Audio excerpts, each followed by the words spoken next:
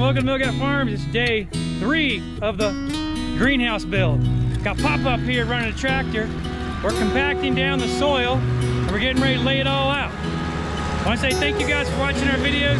Don't forget to give us that thumbs up, subscribe. We'd love to have you back here on the channel. We're gonna have a, not a whole series, but there'll be a bunch of videos about a greenhouse. Love to have you back. So let's see what we can get done today.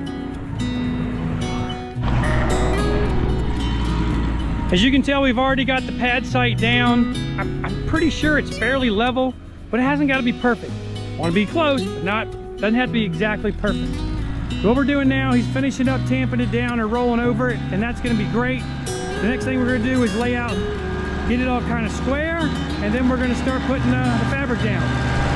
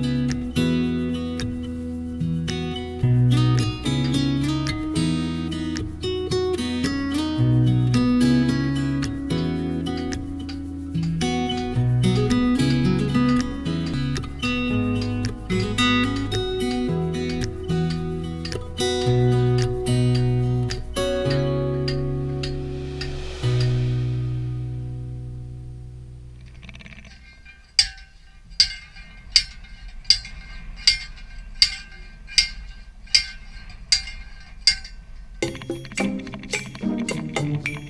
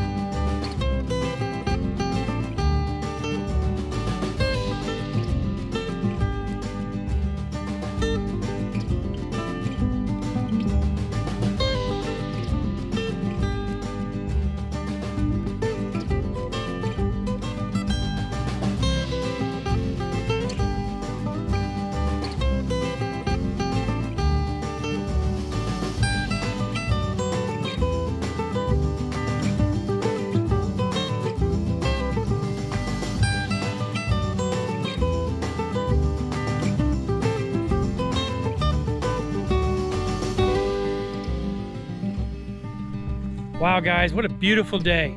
We got a lot done. Check it out. I'll show you. Here you go. You see right up there. I'm down checking the water. We got a little problem. I got to fix that. But we got a lot done today. Um, we got to cut some or adjust the ends a little bit and then we can put the ends on and then uh, get the side pieces on. And we're doing really well. I'm grateful Pop Pop came up and helped out. That was definitely a blessing couldn't have done this in this amount of time, that's for sure. So I want to say thank you guys for watching our videos. I'm getting ready to go through some wet stuff. See, wet stuff everywhere. So thanks a lot for watching our videos, guys. Consider giving us that thumbs up. Uh, this is day three on the greenhouse build. There are more coming because we're not going to get this done. We really appreciate you watching our videos and gosh, I think I'm repeating myself. I'm really tired. So until next time, guys, and God bless you. Now let's go figure out why the water's not working. Oh no! Oh boy, I'm in the water. That's why the water's not working.